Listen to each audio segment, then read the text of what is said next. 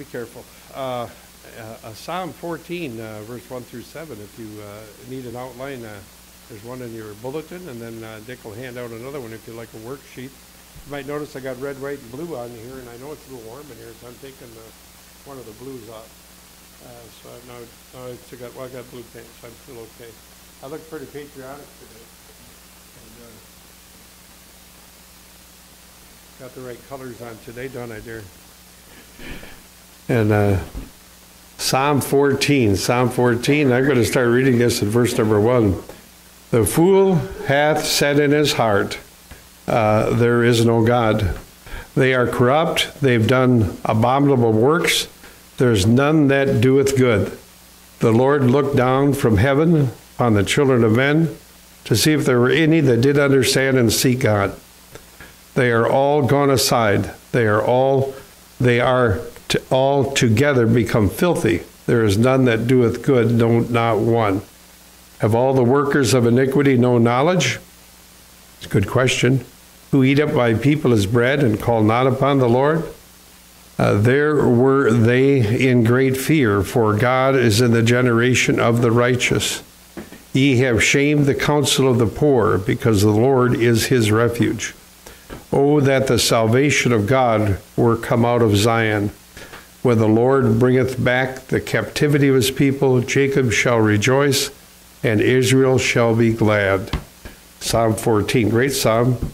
And uh, I have a message entitled "The Salvation of the Lord is Coming." And uh, and uh, we can see the corruption of mankind spoken about as well, but we see the victory of the Lord in the end. Let's pray. Uh, Father, thank you for your grace allowing us to be here tonight. I pray you'll uh, loosen my stammering tongue, allow me to speak with great clarity and uh, speak in such a way that God's people can hear and understand. And uh, Lord, I pray that uh, you will bless your word.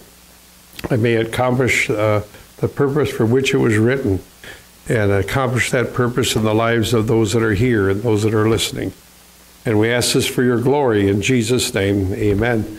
Uh, every part of the Word of God is given to us for a purpose. And uh, when we read, we should be seeing and considering what is God trying to tell me today. What is this all about? This isn't just a history book. It's a it's the living word that God gives to his children and it's for us. Some of it uh, gets a little mundane, but it's educational. We're still learning. We're still learning, and and it's good to learn everything. Now we're learning some things here about the salvation of the Lord is coming, and it's also talking about the lost here. And uh, it uh, describes uh, those that are without God as fools. And uh, uh, Psalm 14, verse 1 The fool hath said in his heart, There is no God. They are corrupt. They have done abominable works. There is none that doeth good. And uh, so here we are with this thought here about the fool. And, uh, and the, we notice where he's saying this. He says, says in his heart, There is no God. Now, friends, we'll have a lot of people say there is a God, but in their heart they say there is not a God. Uh, uh, friend, uh, if you're talking to a person that's deep in sin and they're practicing things that are clearly against God and God's word, uh, they might say to you, yes, they believe there's a God, but they don't really believe there's a God or they wouldn't be doing that stuff. Uh, and uh, they're really saying in their heart, there is no God because they're going to follow whatever their heart leads them to, not what God leads them to do. and they say there is no God, and their confession here uh, there is no God. That word confession means their profession. They're, they're speaking this out, and, uh, and they said there is no God, and their profession is found in their life. Uh, uh their confession is what do you do with it? If, if God, uh, and we see if, if God is really real and He's in your heart, it's going to have an impact upon your life, isn't He? But they say in their heart there is no God, and they're right. because without salvation, God is not in their heart. Uh, God is in this world, and God is in the hearts of those that believe in Him and love Him and are saved. But uh, there's a void in their heart until Jesus comes in. Amen. And uh, and uh, so they're without discerning. They're they're they're without understanding, and there's no concept.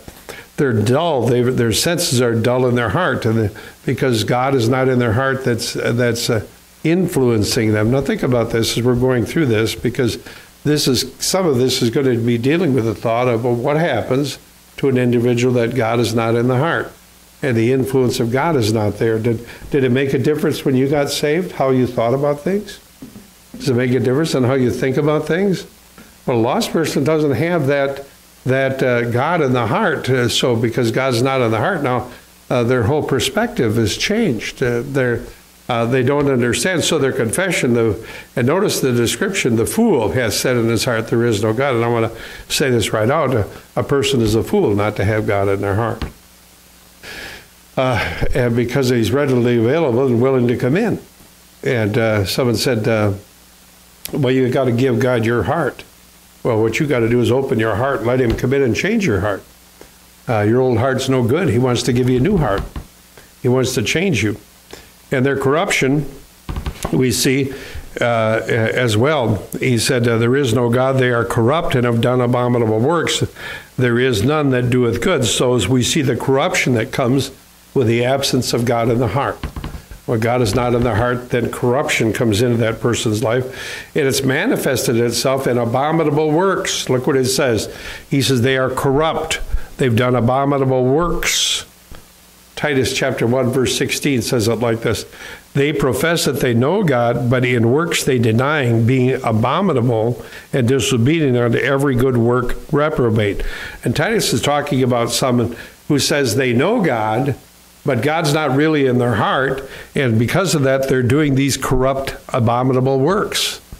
And they do them because God's not really in their heart. Uh, they've got a little bit of a head knowledge, but not a, not a heart knowledge. Uh, you know, you can have a head knowledge of, of God, but a head knowledge is not the same as a heart knowledge. Uh, and we can all testify to that. Amen. If you love someone, that changes uh, your whole uh, attitude and, and uh, your whole perspective of the way you, you treat someone. I, I know that we've got a daughter named Jenny. We love Jenny. we don't care that she's got downs she's in our heart. And you know, some people that don't have uh, Jenny in their heart, they don't know, well, you should just do this or that. Well, that's okay for you to say, but he's not in your heart. He's in our heart. And when someone's in our heart, that affects our attitude, actions towards other people. Amen. And friend, when a person gets married, it's the hope that uh, their two hearts become united in Christ, and then they have each other in their heart, and then they're they're sympathetic towards one another. It's not all about them all the time. Someone said the best marriage is when you think more about your mate than they than you think about yourself. Uh, and if they're in your heart, that's the way it ought to work. Amen. Uh, and that's the way it uh, is in a lot of good homes, good hearts. And so their corruption, they've done abominable works. And if you've got uh, uh a, a corrupt heart, it's going to manifest itself in your works and what you do. And someone said, I don't know why they do that. They're, they're just following their heart's desire. They're following their heart. When a lost person is doing these stupid things, that's where their heart has led them because they're lost and they're doing what lost people do. Yeah, and, uh, and their condemnation is universal. Again, verse 1 they are corrupt, they've done abominable works. There's none that doeth good. So there's that universal condemnation and, and the universal condemnation of those people without God. It says, There is none that doeth good. That's a that's a universal uh, condemnation. There's none that doeth good. Now, catch me or follow me when I'm saying this. Uh, good comes. Uh, uh, let me just say it like this: when a lost person does something that you might categorize as good, there still is no reward because God is not in their heart. Uh, uh, hell doesn't have a uh, paradise portion of hell where the where the sinners go that were kind of nice to some Christians. There's that's not there. Hell is a place of suffering because nothing they've done is good. Because unless God is in their heart, their heart is corrupt. It's corrupt. Now, what does it mean? What do you when to say that? What does it mean? Well, uh, a lost person, a lost person can do things that are good, but because God is not in their heart, what they have done is is probably going to be motivated by corrupt uh, uh, uh, desires and actions and, and thinking. There's a word that we talk about in the scripture. It's called uh, iniquity. I've got a sermon over here. It's been waiting for me to preach. It's uh, I should bring it over here and preach it tonight. And it's on that subject of iniquity. some people don't know what iniquity is. Most Christians don't really consider the concept of what iniquity is. Iniquity is not measured by the works that you do. it's, it's, it's, it's defined by your motivation or the reason that you do it. And more precisely, in the case right here, if God is not in the heart, there's nothing we can do that's not iniquity. Uh, it's never going to measure up because we're not right with Him. I might say it like this no matter what we do, if we're not right with Him, it's going to be wrong. You say, well, it was right. Well, it might have been right in the general sense of here and to your neighbor, but it's not still not right because you're still lost. You still have missed the mark. Let me just say it like this: uh, religious, religious people oftentimes commit iniquity on a regular basis. They do good things, and because they want to do those good works to salve their lost conscience, and they're not saved then those good works are iniquity. And that iniquity uh, is still in their hearts. Uh, they won't be rewarded for it. Why? Because they were trusting in their own self righteousness. And you see, that's the thing about iniquity, and that's the that's the the fool hath said in his heart, There is no God, they're corrupt, they've done abominable works. There is none that doeth good.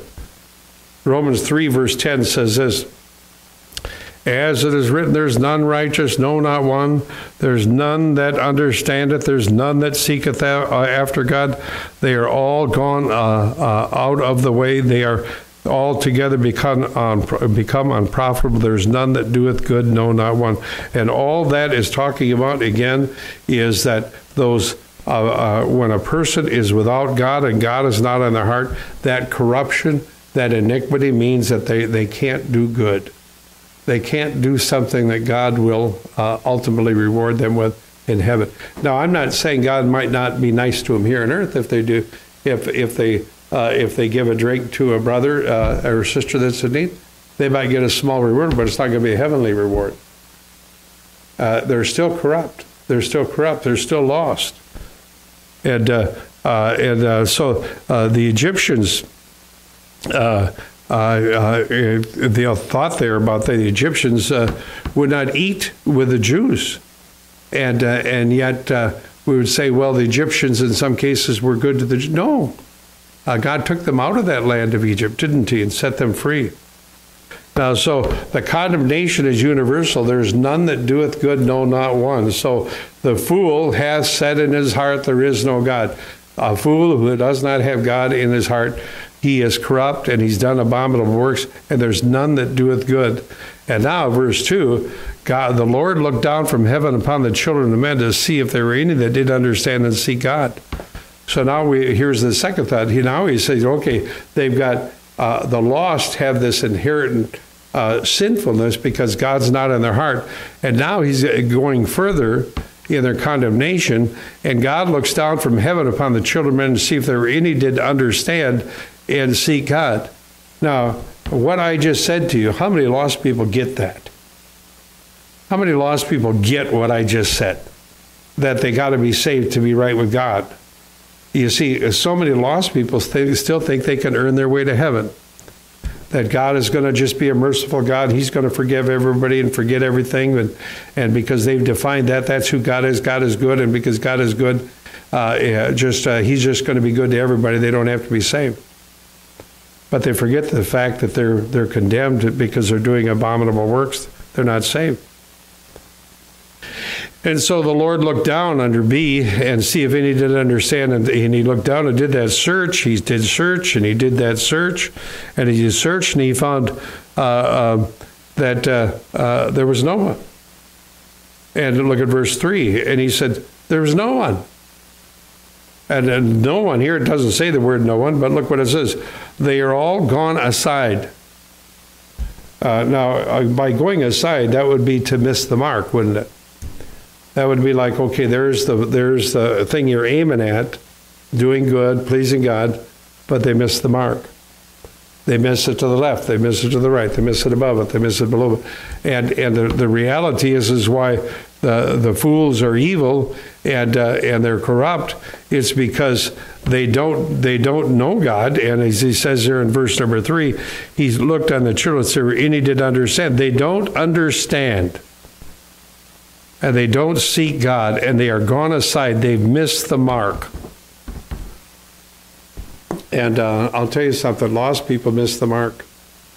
They could be, you know, here's the sad thing they could be nicer than a backslidden Christian, but a backslidden Christian is still better than a, than a, than a lost person that's never been saved. Their, their only goodness rests upon the person of the Lord Jesus Christ. And, and the law sometimes will look at uh, backslidden Christians and use that to salve their own conscience for their own godliness. But listen, uh, uh, they are gone aside, they've strayed, they've missed the mark. Someone said that uh, what it means to miss the mark. Uh, so if I've got a bow and an arrow here, and there's a star in the entranceway on that, and I aim that, and I and I don't hit it. You know something? Here's the thought: the arrow hit something. The arrow hit something. It didn't hit the perfect thing, but it hit something else. And the arrow always comes up short of perfection. And uh, so, if we're always coming up short, we want to be judged by our works. Well, all your works come up short. They didn't hit the mark. They still missed. They came up short of the glory of God. Because in the end, God didn't glory. You did it for the, your own glory. And, and you're not God. And so they've gone aside. They've gone aside. They meaning they missed the mark. They are all together become filthy. They're all dirty. So first they've missed the mark. Second, they're all together become filthy. That and what does it mean to be filthy? Just plain dirty. The dirtiness of sin. Sin makes them dirty. What shall wash away my sin? Well, there's no washing away if you don't get saved. And so the lost are dirty. Why? Because the sins haven't been washed away. You know, the forgiveness you get when you're saved and the washing away, uh, uh, I don't think Christians appreciate that. You've been made clean. You've been washed up. You've been washed up. You're not as you once were. The filth is gone. I want to tell you, I've, I've dealt with Christians that can't forgive themselves. Well, God doesn't ask you to forgive yourself. He tells you He'll forgive you. He'll wash it away. He'll wash it away. There's nothing wrong with us feeling guilty for things we've done wrong in the past, but we ought to understand something. It's under the blood. We can use it as a teaching tool to make sure we never do it again, but we'll never be held accountable for it because our sins have been washed away by the blood of Jesus Christ. And we're no longer filthy. And then he goes on, he says, So they are all, and here in verse 3, we see the word all three times. Notice in verse 3, three times. All gone aside, all filthy, and uh, there's none that doeth good, no, not one. Well, I guess there's only two there, isn't there? But the thought, thought there is that is that we're, we're the lost are just that. They're lost. They are all together become filthy. But on the flip side of that, the saved are all okay. They're all good. Now, Psalm 51, verse 1 says this uh, uh, David's uh, crying out in prayer. Now, here's the problem. See, you and I, as Christians, we could be uh, what we would call saved and still have problems with sin. Now, when we have a problem with sin, what should we do? Well, we need to confess it, don't we? We need to ask God to forgive it because our fellowship here on earth is broken. We still have a, a, a God that loves us. I may put it like this: I've got I've got four children. My my four children because uh, they've been born of my wife and myself. We have a living relationship through birth. You have a relationship with God through birth too. And because you've been birthed by Jesus Christ, your relationship to God is not going to be severed. It's, it's, it's eternal, isn't it? Our relationship with our children is not going to be severed because we've been, they were born into our family. They're born of us. Now, do they miss the mark sometimes? Yes, they do. Our kids miss the mark sometimes, don't they? Do our kids uh, uh, do things they shouldn't do sometimes? They do. Do we, do we chase them? Do we deal with them? But you know something, our relationship doesn't change. They're, they're still our children. And, uh, and so while the lost have no relationship, we have a relationship. And when David cries out in Psalm 51, He says, Have mercy upon me, O God, according to thy loving kindness, according to the multitude of my thy tender mercies, blot out my transgressions. You see, this is a, this is a prayer of a child of God. This is not a prayer of a lost person excusing his sin. This is the prayer of a saved child of God confessing his sin. And by the way, if you're a saved child of God and you want to confess your sin, you better stop excusing your sin and start confessing your sin and asking God for forgiveness and, and to cleanse you. And so the saved person cries out and says, Have mercy upon me, O God, according to thy loving kindness, according to the multitude of thy tender mercies. Blot out my transgressions, wash me thoroughly from mine iniquity, cleanse me from my sin. For I acknowledge my transgressions, and my sin is ever before thee. Against thee and thee only have I sinned, and done evil in thy sight, that thou mightest be justified when thou speakest, and clear when thou judgest. Behold, I was shapen in iniquity. Now he goes back to his life before salvation. In sin, my mother did conceive me. And behold, thou desirest truth in the inward parts, and the hidden part thou shalt make known uh, to known wisdom. And you see, he was, uh, uh, well, we don't understand just exactly that Old Testament revelation. We know that when we're born again, we become part of the family. Amen? And verse 3b says this uh, They are all together gone aside, they're all together become filthy. and then we also see there is none that doeth good, no, not one. Those are all true. Now, uh, see, the lost then have no true knowledge of God. Look at verse 4. Have all the workers of iniquity no, no uh, knowledge, who eat up my people uh, as they eat up bread and call not upon the Lord? So, all of those people that are workers of iniquity, these are people that work iniquity. Now, iniquity is not defined by the nature of the work, it's defined by the fact that it's done by polluted people it's going to come up short. It's never perfect because it's not done in unison. And, and a matter of fact, works of iniquity can be done for the wrong motivation. I'll be nice to you so you can be nice to me. Now that's the wrong motivation. That's a selfish motivation. If you're nice to your fellow workers, they'll be nice to you. Well, you should be nice to them even if they're not nice to you, right? We shouldn't have that sort of uh, uh, iniquity where we're doing things to get I'm going to be nice to mom so she gets me something. You know, I, I should be nice to mom because I love her. Amen. And and uh, uh, they are all gone aside. They're all to come filthy. That's the loss. But we, uh, and now he says this in verse four: have all the workers of iniquity no knowledge? Don't they understand this? Don't the lost understand this? That they can't bribe God with good works. If you could bribe God with good works, then Jesus wouldn't have had to go to Calvary right? We could earn our salvation. Matter of fact, if iniquity ever satisfied a holy God, then Christ would not have had to die for our sins on Calvary. It would not need to have been that life given, uh, the pure life, the pure blood of Jesus Christ. And so he asked that question. He said, Have all the workers of iniquity had no knowledge? Meaning, no knowledge of God. They don't understand that that God is not satisfied with pretense. Uh, and those people who eat up my people as they eat bread and call not upon the Lord, don't they all, all understand something that that uh, that God's not going to be merciful to them if they do that? Matter of fact, it says in verse five, they'll be in great fear. Uh, don't the uh, workers of iniquity have no knowledge that God knows the motivations of the heart? Don't they understand that go that uh, that if they eat up God's people as they eat up bread and call not upon the Lord, that God is going to judge them? That that uh, that that uh, uh, they they should be in great fear because God is going to judge them someday. And so we have the workers of iniquity. They outwardly appear righteous.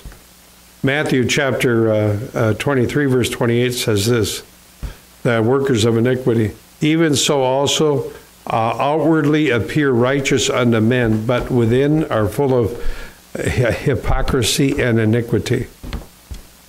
And so uh, the people that are great filled with iniquity, uh, they could fool people, they could fool pastors, they could fool you because you assume that they're that they're that they're that they're right because they're doing these good works. I might just say it like this. Isn't it wonderful when people come to church on a regular basis? But if people come to church and they're lost and they know they're lost and they're not really saved, but they're coming and uh, because they think this is somehow going to earn favor with God, what they did in coming was really an iniquity. And don't they understand that that uh, those workers of iniquity don't they know that God knows the difference? Don't they understand that as they eat up uh, God's people as bread that uh, and call not upon the name of the Lord that God knows that? Romans chapter uh, 3 says this Now we know that whatsoever things the law saith, it saith to them that are under the law. Now, friend, if you're not saved, if a person's not saved, that's what they're under. They're under the law. Because you can either be under Christ through salvation, and God will treat you as, a, as being under the law. The, uh, the Old Testament law came, the Israel was under the law, wasn't it? And then grace and truth came through Jesus Christ. Amen. Grace is not based upon the law, it's based upon the gracious gift of God, His Son, who died for us on Calvary for our sins. Okay? So it says, Now we know that the things whatsoever the law saith, Romans 3.19, it saith them that are under the law, that's the, the that every mouth may be stopped and all the world may be, become guilty before God. So all the law is coming and so the, law, the, the people that are doing these good works, they'll one day stand before God, but they're going to be, be proclaimed guilty because the law is going to condemn them. But we're not under the law if we're saved. We're in Christ. And so uh, uh, uh, the, the law will be against them. Verse 20 Therefore, by deeds of the law shall no flesh be justified in his sight. For by the law is the knowledge of sin, and that's why the law was given. The law was given to convict people they were sinners in need of a Savior. It was not given to justify people. The policeman doesn't pull you over and say, I just uh, want to give you a ticket. Uh, you could take it to Hardee's and they'll give you a free meal. They give you a ticket. It's not a, it's not a reward, it's a penalty. The, they, they ignore you unless you break the law. And the law is given to deal with lawbreakers. It's not given to deal with uh, with uh, uh, people that don't break the law. It's given to lawbreakers. But now the righteousness uh, of God without the law is manifested, being witnessed by the law and the prophets. The righteousness meaning that they're not guilty. The, the righteousness of God is being manifest, and this is what the law was pointing to. This is what the prophets were preaching about. The law was given to give people a knowledge of sin, so they would want to ask God to save them. And, and, and plead and say, God, I'm a sinner, please save me. But now righteousness without the law of God is manifested. That's the righteousness of Jesus Christ that was displayed by himself. And, and the righteousness, or the righteous one was died on Calvary for our sins. And then he goes on and says, even the righteousness of God, which is by faith of Jesus Christ, unto all and upon all them believe, for there is no difference, for all have sinned and come short of the glory of God, be justified freely by the grace through the redemption that's in Christ Jesus. Through the redemption of, of God through Christ Jesus, his righteousness is imputed to us. What a wonderful deal that is. For God has set him forth to be a propitiation through faith in his blood that word propitiation is a big word, isn't it?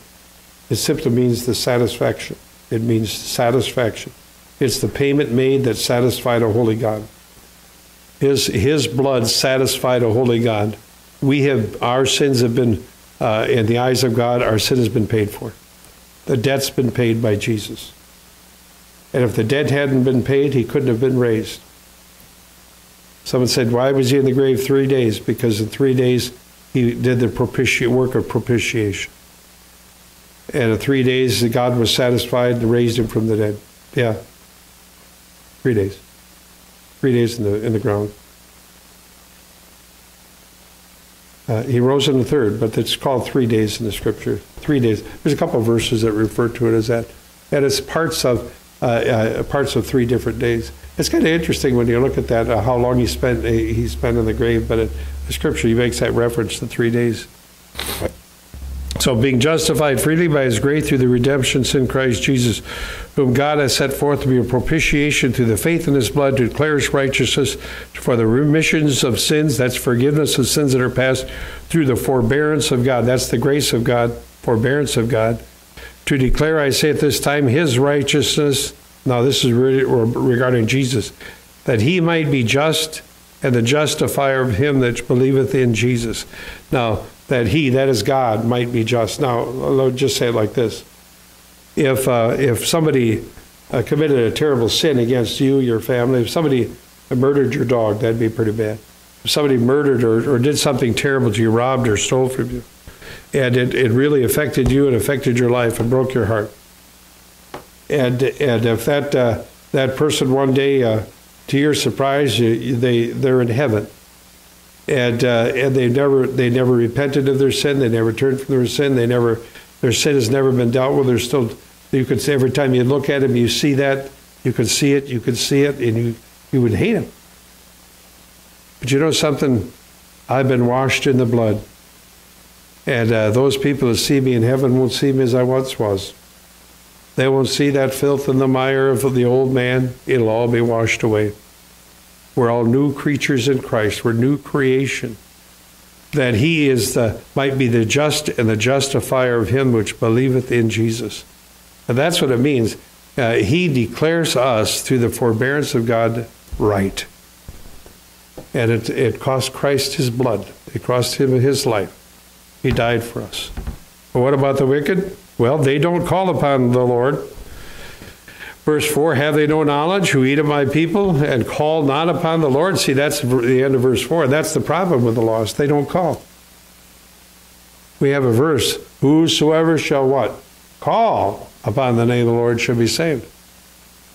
And if you've never called, if you've never called, if you've never called, you're still under that under that curse of sin. And, and we have to be we have to be saved. We have to be saved and we have to call upon the name of the Lord for salvation, and God, by His grace, saves us.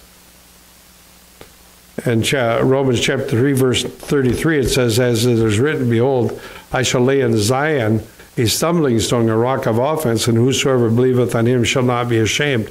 You see, whosoever believes in Jesus will never be ashamed, never be disappointed.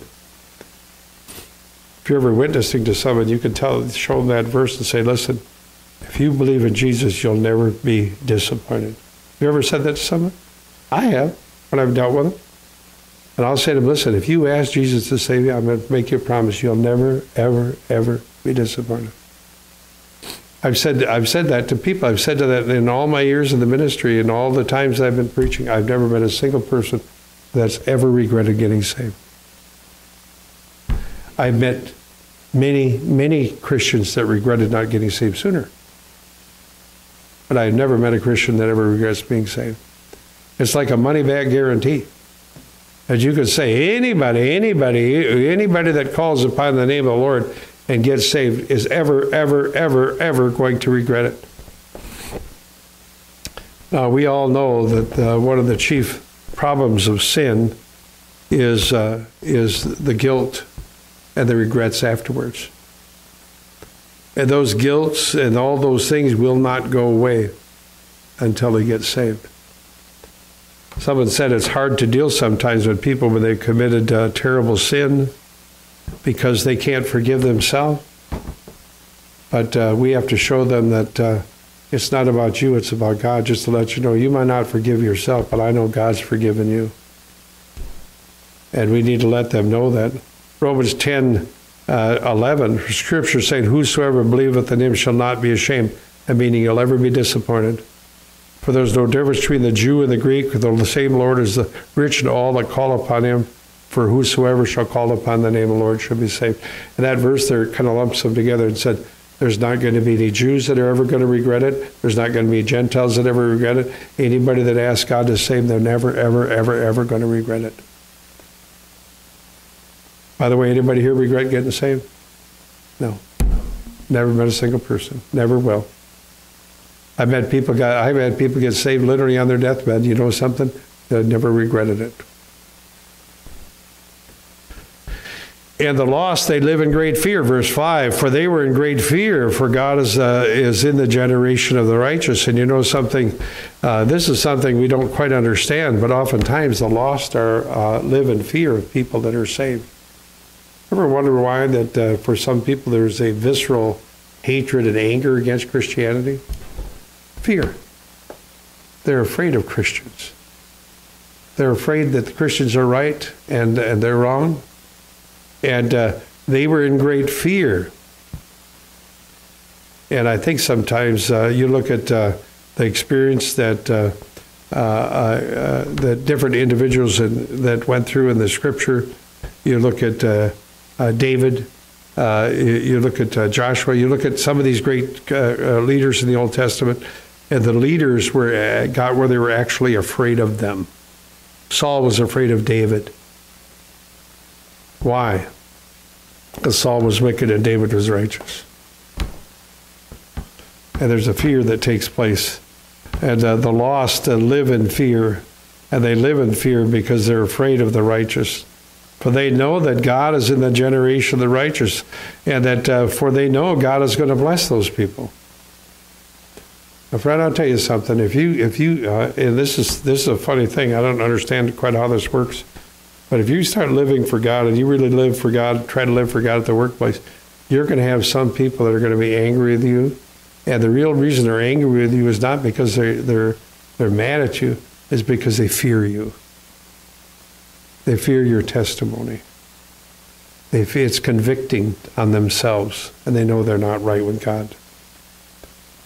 Uh, verse 6 uh, Ye have shamed the counsel of the poor, because the Lord is his refuge. Uh, and so now he's talking about this. Uh, they were in great fear. And I think in verse 6, it's still talking about they that were in fear for God is in the generation of the righteous. Ye have shamed the counsel of the poor. Uh, they shame the counsel of the poor because the Lord is his refuge. And I say, yet uh, that's the lost. They know God is the, is the refuge of the saved. And because he knows it's the refuge of those that are poor, uh, uh, they they they uh, they live in that fear. They live in that fear. Now the hope of the righteous, and this is our hope. This is your hope, my hope. Oh, that the salvation of Israel will come out of Zion. When the Lord bringeth the captivity of the people, Jacob shall rejoice and Israel shall be glad. Oh, friend, we ought to be looking forward to the rapture of the church. We ought to be looking forward to the second coming of Christ. We ought to be looking forward to seeing our Savior.